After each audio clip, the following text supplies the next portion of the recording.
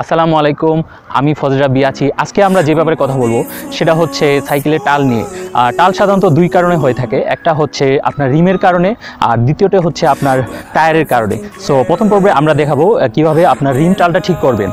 So কথা না বাড়িয়ে এখনই শুরু করছি। আপনি বড় বেশি কথা বলেন।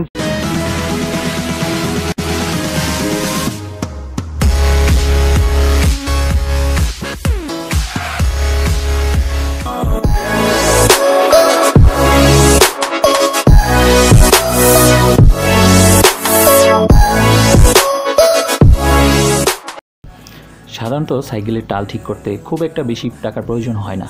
তবে আপনি যদি আপনার নিজের সাইকেলের টাল কীভাবে ঠিক করবেন, সেটা শিখে নিতে পারেন, তাতে আপনার জন্য খুবই বেটার হয়। তাই প্রথমে আপনার সাইকেলটাকে উল্টিয়ে নিন। তারপর টাল ঠিক করার জন্য প্রথমে আপনার প্রয়োজন একটা স্কোপ ডালি যেটা আমি বাজার থেকে বিশ টাকা দিয়ে কিনেছিলাম। আর দ্বিতীয়ত আপনার একরকম একটা টুল কিটের প্রয়োজন হবে যেটা আপনি অ্যামাজন থেকে কিছু ডলারের বিনিময়ে নিতে পারেন। তবে সেটা অবশ্যই টাকা হিসাব করলে দু তিন হাজার টাকার মতো হয়ে যাবে! তাই এর বিকল্প হিসেবে আমি একটি মোটা কাগজ নিলাম এবং একটি সিজার নিলাম কাগজটি কাটার জন্য। এবং আমি এখন ওয়েল ব্রেকের তারের সাথে লাগাচ্ছি। আপনাদের যদি ওয়েল ব্রেক বা তারে লাগাতে সমস্যা হয়, তাহলে আপনারা ফ্রেমেও লাগিয়ে নিতে পারেন এবং একটি স্টেপলার দিয়ে এটা কি সুন্দর মতো লাগিয়ে নিলাম। এবং কাগজটি লাগানোর পর একটু চেক করে দেখবেন যে রিমের সংস্পর্শে আসছে কিনা। এখন আমি থার্টিন নাম্বারটি দিয়ে আমার স্কোপগুলা টাইট এবং লুজ করব। ভেরি সিম্পল ট্রিক প্রথমে একটি নির্দিষ্ট পয়েন্ট দেখে শুরু করবেন। রাইট এবং লেফট সাইডের স্কোপগুলো আপনি একটু খেয়াল করুন। যদি আপনার রিমটা রাইট পাশে চাপাতে হয়, তাহলে রাইট সাইডটা টাইট হবে এবং পরে নেক্সট যেটা লেফট সাইডে আছে, সেটা একটু লুজ করবেন। আবার আপনি যদি একটু, আবার পরেরটাও আপনি একটু টাইট করবেন এবং পরবর্তী সাইডটা আবার লুজ করবেন, তাহলে একটু লাইট সাইড আসবে।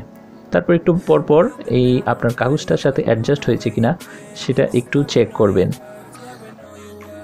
আবার ঠিক সেম ওয়েতেই আপনার যদি লেফট সাইডে আপনার চাকার রিমটি চাপাতে হয়, তাহলে লেফট সাইডটা একটু, এটা লেফট সাইড লেফট সাইডটা টাইট হবে এবং পরবর্তী নেক্সট যেটা রাইট পাশে আছে, এটা একটু লুজ করবেন। আবার সেম টাইট এবং পরবর্তীটা লুজ হবে। বোঝার সাথে আমি আবার রিপিট করছি।